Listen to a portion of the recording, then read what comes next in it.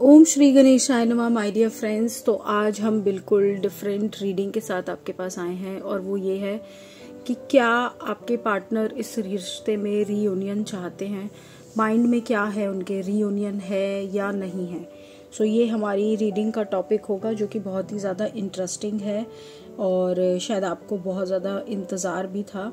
सो so, इसमें हम ये देखेंगे कि आपके पार्टनर के भी करंट सिचुएशन क्या है फ़िलहाल क्या सिचुएशन से माइंड सेट से चल रहे हैं। प्लस फिर हम देखेंगे क्या वो रीयूनियन चाहते हैं या वो उसी सिचुएशन में स्टक रहना चाहते हैं। ठीक है? सो फ्रेंड्स इस रीडिंग को एक जनरल रीडिंग की तरह लीजिएगा। कोई भी चीज़ अपने ऊपर नहीं करनी है। और इसे नाम राशि सनसाइन या मून साइन जो भी आपको मैच करे जिससे आप ज़्यादा रिलेट कर पाए। सो so, जितनी रेजोनेट हो उतनी इसे देखें। एक और बात की रीडिंग अगर आप लोगों को पसंद आती है प्लीज़ उसे लाइक ज़रूर करा करें और सब्सक्राइब कर दें मेरे चैनल को। अगर अभी तक नहीं किया है नोटिफिकेशन की बेल ऑल पे रखें ताकि आपको सारी के सारी वीडियोस जब भी अपलोड हो, उसका नोटिफिकेशन ज़रूर आए। ठीक है फ्रेंड्स तो इसी पर हम अब शुरू करते हैं अपनी रीडिंग को। सो माय डियर पाइसिस यानी कि मीन राशि। सो फ्रेंड्स आई होप आप सब अच्छे होंगे। फ्रेंड्स हम स्टार्ट करते हैं आपकी पार्टनर की करंट सिचुएशन से और फिर देखेंगे मेन क्वेश्चन क्या वो रीयूनियन चाहते हैं या नहीं इस रिश्ते में। सबसे पहला card conditioning then we have celebration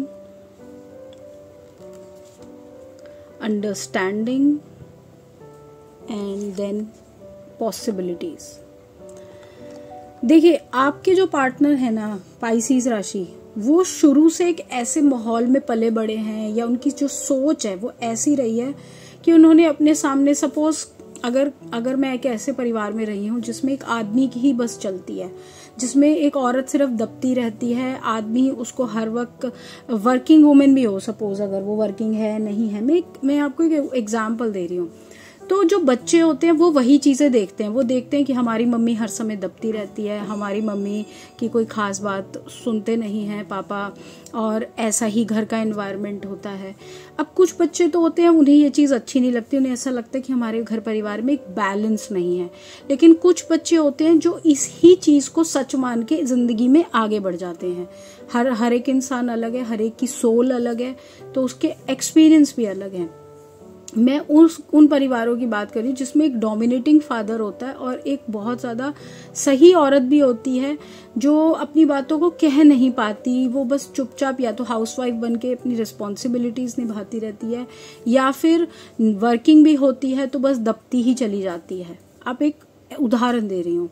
मुझे ये एक इंसान ऐसी एक एक सिचुएशन में दिख रहा है जहाँ उसकी कंडीशनिंग ऐसी सिचुएशन में हुई है। या फिर अगर ऐसा नहीं भी है तो जो उसकी खुद की सोल है, वो एक बिलीफ सिस्टम पे चलती है, जहाँ पर उसको लगता है कि ऐसा ऐसा होना चाहिए और ऐसा ऐसा होना चाहिए।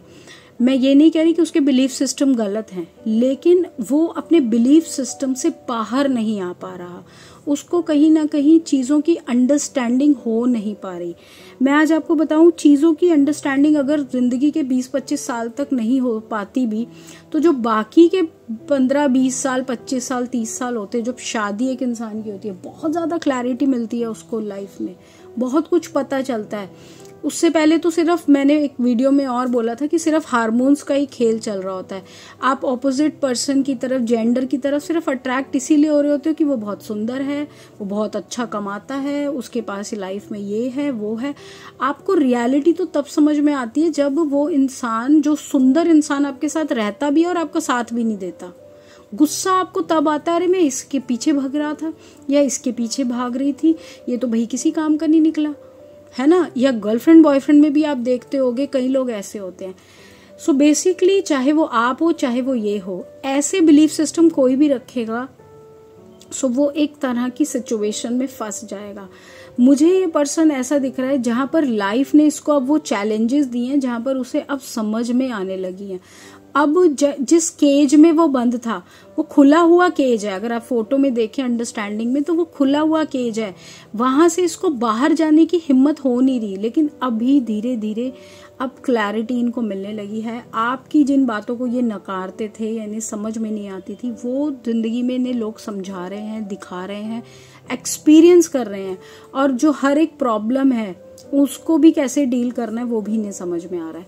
सो so, बहुत ज़्यादा मुझे इनकी करंट सिचुएशन में ये पता चल रहा है कि लोग जो इनके साथ उठते बैठते हैं इन्हें तरह तरह की बातें समझाते हैं इन्हें कुछ क्लैरिटी देते हैं।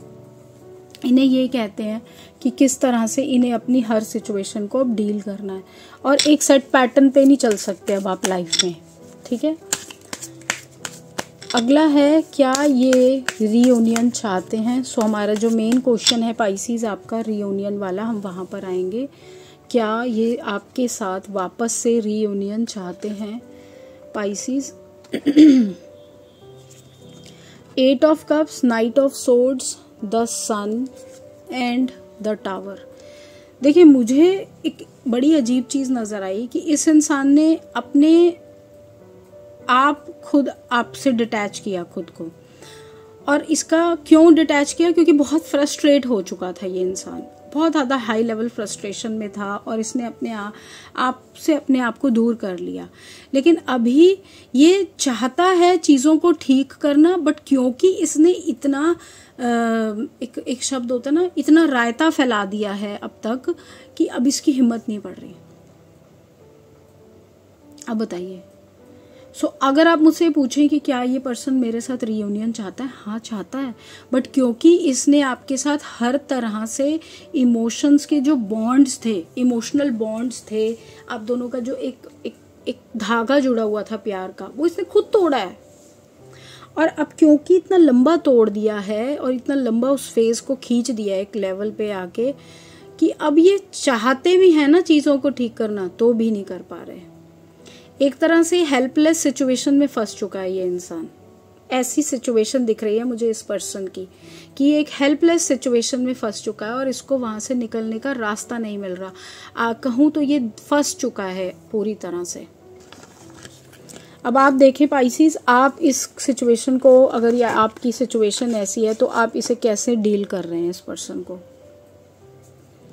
आइए देखते हैं आपके लिए क्या गाइडेंस है। मुझे आपके लिए गाइडेंस निकालनी होगी। आपको डिवाइन क्या कहना चाहते हैं? आप डिवाइन गाइडेंस देखें क्या है आपके लिए। कॉम्प्रोमाइज़ सो so, अगर आप अपनी तरफ़ से कॉम्प्रोमाइज़ करना चाहते हैं इन्हें समझाना चाहते हैं कि देखो पहले तुमने ऐसे किया और अब तुम अगर इस तरह से चीज़ों को ठीक करना चाहते हो तो आई एम रेडी बट अगर ये अभी भी चीज़ों में अपनी ही मास्टरी दिखाने लगे आपको तो फिर आप ज़रा सा सतर्क हो जाएँ। अगला है इट्स अप टू यू मैंने कह दिया आपको यही बात मैंने बोली फिर आप पर है और यही आ गया कि ये आप पर है। सो so, आपके ऊपर है कि आप इस इंसान को अपनी लाइफ में वापस से लाना चाहते हैं क्योंकि ये तो अपने ही जाल में फंस चुके हैं। अपने ही आप अपने ही गलतियाँ कर करके उन्हीं एक पूरे केज में खुद ही बंद है और बाहर आकर आना भी चाहते हैं तो आ नहीं पा रहे हैं। ठीक है? सो so, ये है माय डियर स्पाइसीज आपकी रीडिंग आई होप आपको बहुत क्लैरिटी मिली हो फ्रेंड्स रीडिंग को प्लीज़ लाइक ज़रूर करना और कमेंट भी करना. चैनल को सब्सक्राइब करें. मैं आपसे अगली रीडिंग में मिलूँगी फ्रेंड्स तब तक के लिए बाय फ्रेंड्स